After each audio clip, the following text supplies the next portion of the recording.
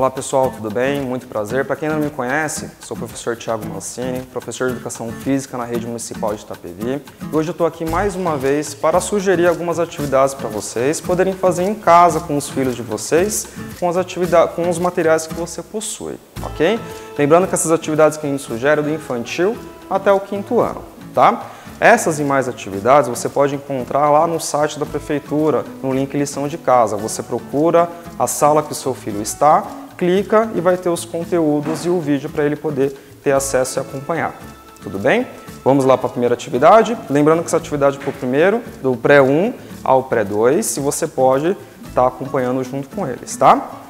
O nome dessa atividade é sequência de bolinhas ou sequência de cores, tá? Ela é muito legal para alunos do pré-1 e pré-2. Ela tem o objetivo de prender a atenção da criança, também mexe com a coordenação motora dela e também com a memória. É bastante interessante a gente treinar isso com eles nessa fase, tá bom? E o que a gente vai precisar para essa atividade? Uma folha sulfite, pode ser a folha de caderno caso você não tenha. Eu preciso que vocês façam círculos no papel. Se você não tiver um compasso, pode ser qualquer material círculo, né, que tem um, um círculo, uma circunferência, pode ser copo, uma tampa de algum objeto. Você vai precisar de uma tesoura, ok? Melhor que seja sem ponta para ele poder manusear. Você vai precisar de um durex ou fita adesiva ou aqueles adesivos, aquelas figurinhas que ele possui no caderno, tá bom? Que é só para a gente fixar na parede, tá? E um prato descartável, aqueles pratinhos de festa.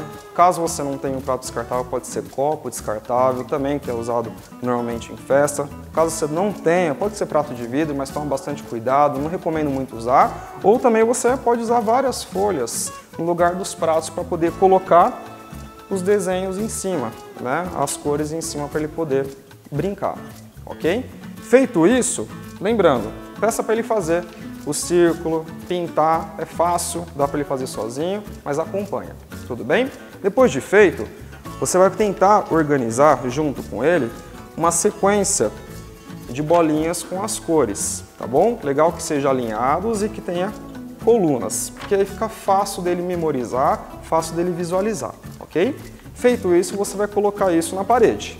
Vai fixar próximo de uma mesa, ou também, se não tiver, próximo do chão, para que ele consiga organizar os pratos depois. Feito isso depois, ele vai conseguir, ele vai ter que montar a sequência representando nos pratos ou nos objetos que estão as cores. Se a gente olhar nessa sequência, o verde, no caso de vocês, está na ponta direita, ok? Então ele tem que representar aqui o verde na ponta direita. Embaixo do verde ele tem que colocar a cor roxa e assim por diante ele vai ter que colocar, reproduzir a mesma sequência que está no papel.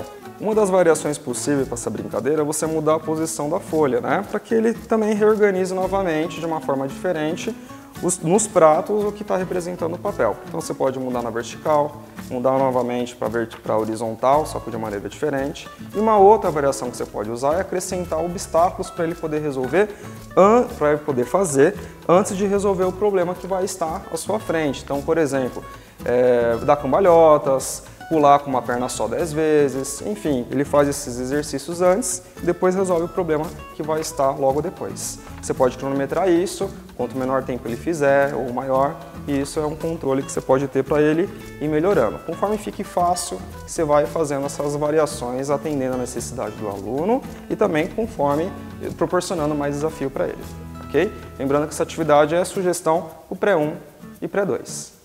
Bom, essa mesma atividade ela pode ser usada para várias modificações diferentes correspondente à idade da criança, tá bom? Claro, você tem que proporcionar sempre um desafio para ela, ok?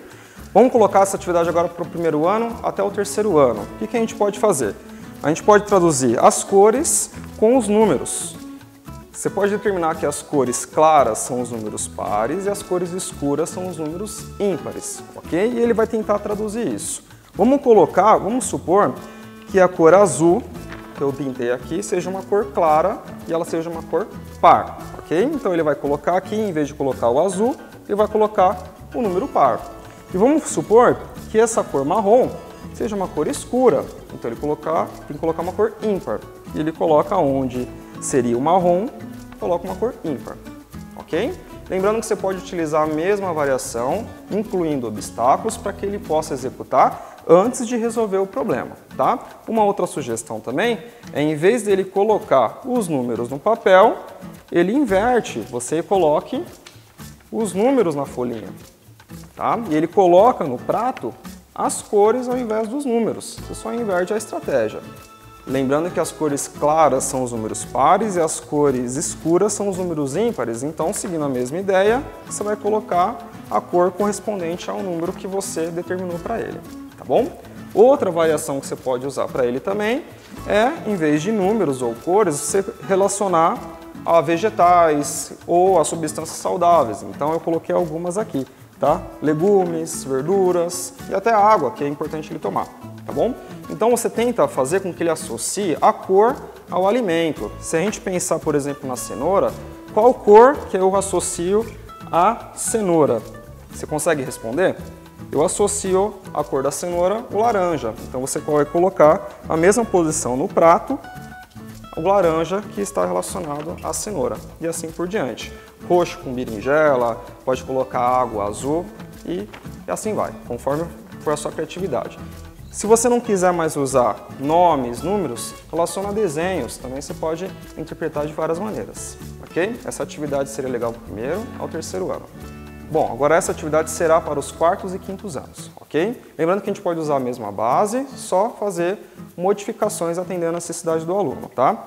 Como o quarto e quinto ano já é um pouquinho mais esperto, um pouquinho mais ligeiro, a gente pode colocar, trabalhar mais a memória dele. Então, lembrando que você já fez todas essas alterações, colocou obstáculo para ele fazer, vai ter que fazer cambalhota, fazer polichinelo, fazer soldadinho no chão, mantém Tá? Só que antes dele fazer tudo isso, mostra essa figura para ele e determine um tempo para ele memorizar.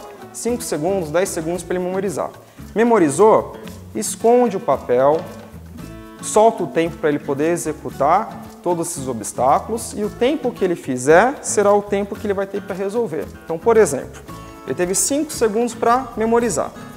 Memorizou, fez o percurso, ele demorou um minuto para fazer todos esses percursos. Então, ele terá um minuto para resolver o que está na sua mesa, tá? De acordo com aquilo que ele visualizou lá no começo.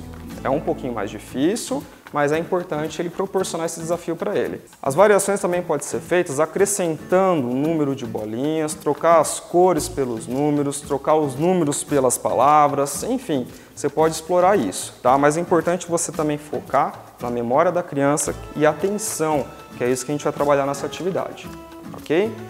Brinque com ele, faça desafios junto. Eu desafio também você a tentar fazer isso junto com ele, disputa, que é muito legal.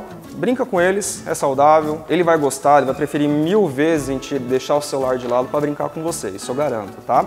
Agora, eu peço que para vocês sempre, depois de qualquer brincadeira, lavem as mãos, sempre esse período que a gente está na pandemia, precisa ter esse cuidado.